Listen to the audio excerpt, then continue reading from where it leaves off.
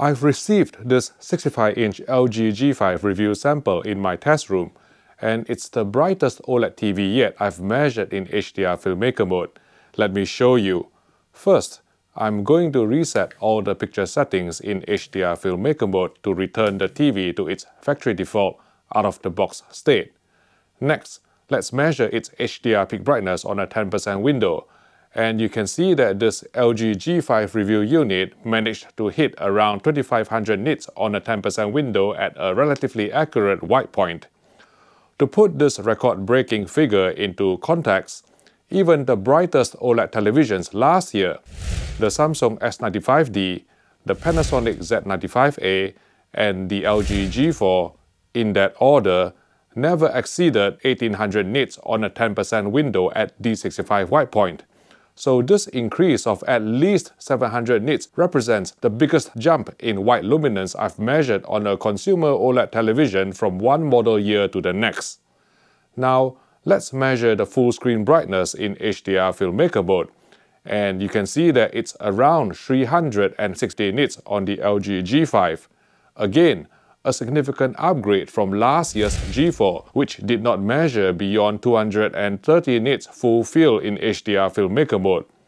To drive home just how bright the 4-stack primary RGB tandem OLED panel on the G5 is, the default OLED brightness value of 80 in SDR filmmaker mode measured more than 500 nits, so you should definitely lower the value to at least the mid-20s when watching SDR content in a darkroom. With brightness out of the way, let's move on and measure the TV's Rec 2020 color space coverage. As you can see, the LG G5 covers more than 83% of BT 2020, which is slightly higher than the number specified by LG Display, who supplies the primary RGB tandem OLED panel used on the G5. Delving into the picture menu, there are at least three notable changes to the picture settings that I can see. 1. If we go into the picture menu, click on Advanced Settings, then click on Brightness, then scroll down and select Gamma Adjust Brightness, you can see that it's changed from previous years. There are only two options here.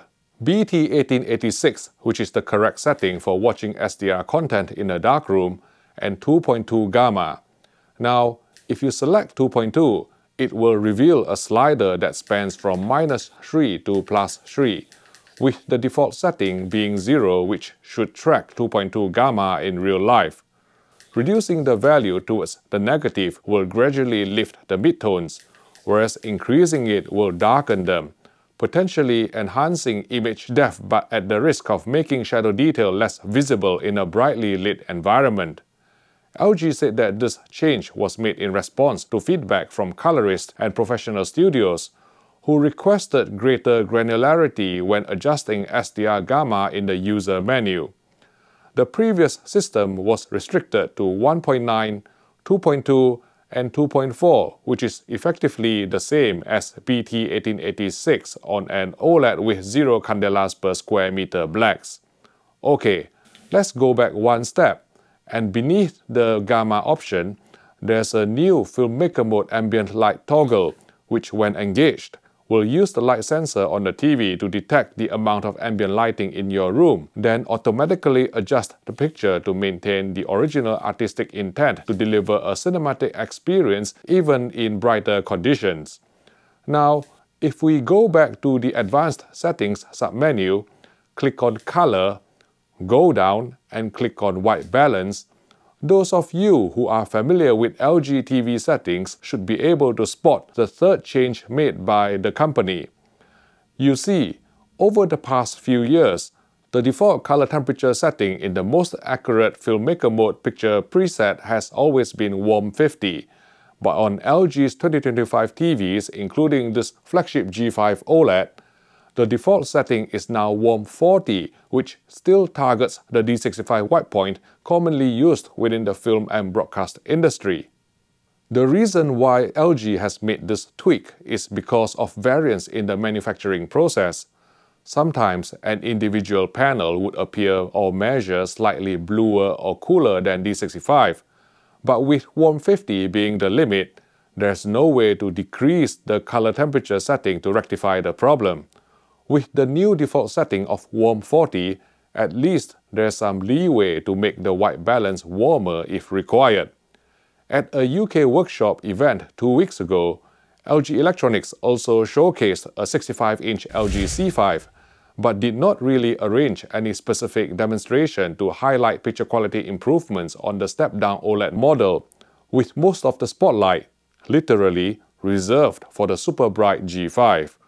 If you are undecided about which LG OLED TV to buy, one place where you can get good advice is at Richer Sounds, a trusted British AV retailer with more than 50 stores in the UK, who provides 6 years warranty on the vast majority of TVs if you join the company's VIP club.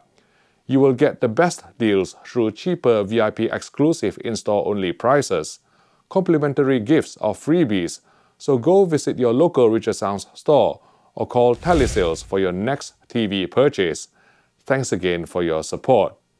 Okay, over the next couple of weeks, I will be carrying out my comprehensive array of tests on the LG G5, comparing it against other flagship OLEDs, with a Sony BVM HX3110 reference monitor serving as the benchmark.